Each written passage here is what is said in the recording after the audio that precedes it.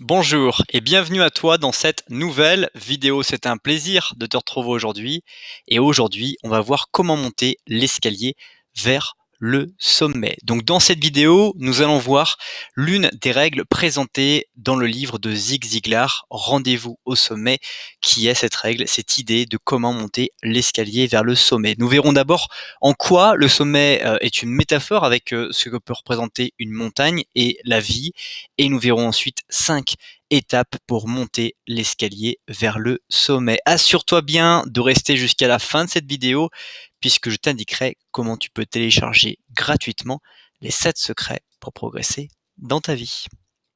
Alors le sommet, vouloir monter au sommet, quelque chose que on peut entendre de plus en plus au fil des années, euh, cette idée d'imaginer qu'on va monter l'escalier vers le sommet, comme s'il existait un escalier pour monter vers notre vie. Alors le sommet est une métaphore avec la vie euh, pour sous-entendre le sommet d'une montagne dans laquelle on doit euh, parcourir eh bien une pente très difficile, dans lequel les conditions climatiques environnantes sont difficiles et euh, dans lesquelles on doit mobiliser des ressources, dans lesquelles nous n'avions pas forcément prévu de mobiliser puisque nous ne savions pas les conditions météorologiques, nous ne savions pas comment notre corps allait finalement euh, vivre euh, émotionnellement et physiquement les contraintes de l'ascension vers le sommet. Donc ce que, représente finalement escalader une montagne, c'est eh bien de mobiliser sa propre personnalité par rapport justement aux contraintes que l'on ressent en soi, mais aussi par rapport aux contraintes que l'on découvre dans son ascension avec très peu de choses qu'on a pu prévoir pour euh, bien faciliter sa montée et,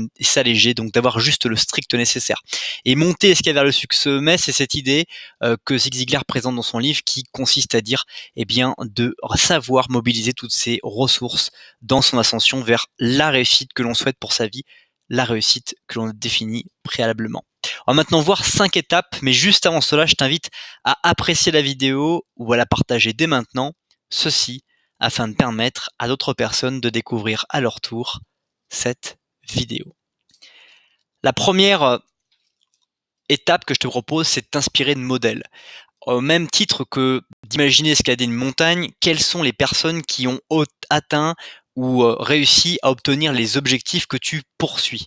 En t'inspirant de modèles, tu vas pouvoir comprendre en les analysant soit de très loin via des vidéos, via des audios, soit de très près parce que tu as la possibilité d'être dans, les mêmes environnements qu'eux, de comprendre leur psychologie, leur attitude, leur façon de penser, leur compréhension des situations qui les entourent et aussi leur idée sur comment percevoir ou avancer par rapport aux objectifs que vous avez avec l'expérience qu'ils ont acquise. Donc les modèles sont des raccourcis vers les objectifs que l'on souhaite. Par exemple, si tu souhaites apprendre à défiscaliser ton argent pour pouvoir eh bien euh, capitaliser davantage ou pour pouvoir eh bien euh, payer moins d'impôts mais tout en euh, impactant le monde avec justement des stratégies qui sont validé par euh, le fisc, eh bien, il faut t'inspirer de personnes qui l'ont déjà fait pour pouvoir savoir comment le faire, plutôt que de chercher à jouer les apprentis sorciers, mettre du temps et finalement perdre son temps alors que d'autres personnes savent déjà le faire. Deuxième étape, c'est comprendre et définir les étapes de l'ascension que tu poursuis.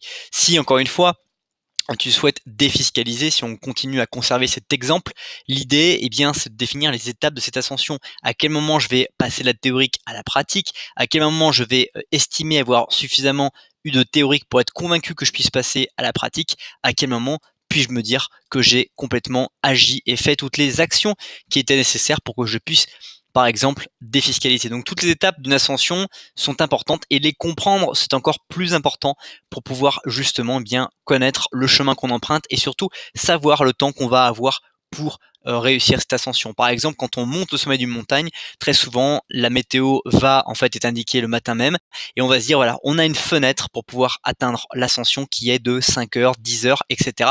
Et c'est dans ce moment-là qu'on va décider si on y va ou on n'y va pas par rapport à toutes les contraintes qu'on en a pu imaginer. Troisième étape, c'est s'entourer d'une équipe soudée. Et dans cette équipe soudée, par rapport à l'escalier du sommet que tu cherches à remonter, il y a la famille, ton ou ta conjointe, tes amis, tes partenaires qui vont peut-être former cette équipe. Quand on pense à escalader euh, un sommet de montagne, il y a des gens qui sont expérimentés, des gens qui viennent d'arriver. Il y a des petites équipes qui vont se consolider et qui vont faire l'effort ensemble de pouvoir aller jusqu'au bout pour pouvoir s'entraider et faire que cet effort soit plus réalisable que si on était tout seul. Quatrième étape, c'est acquérir les équipements et fournitures qui sont essentiel puisque ça ne t'a pas échappé. Pour monter une montagne, on ne le fait pas avec un short et un t-shirt. Très souvent, c'est enneigé.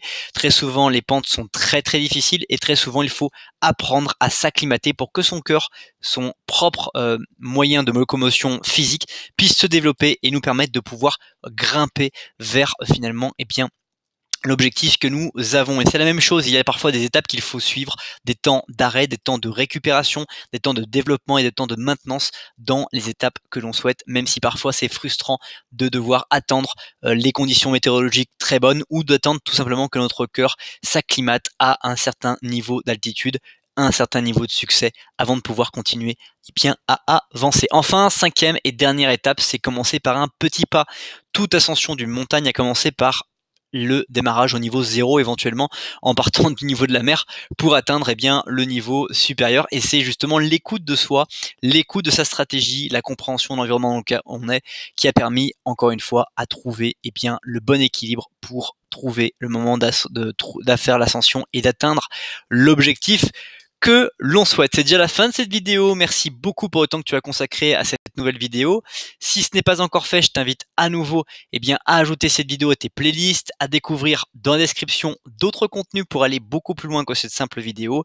Et pour te remercier du temps que tu as consacré à cette nouvelle vidéo, je t'invite à télécharger dès maintenant 7 secrets pour progresser dans ta vie. Tu trouveras le lien juste en dessous. Passe une très bonne suite de journée et je te dis à bientôt pour une prochaine vidéo.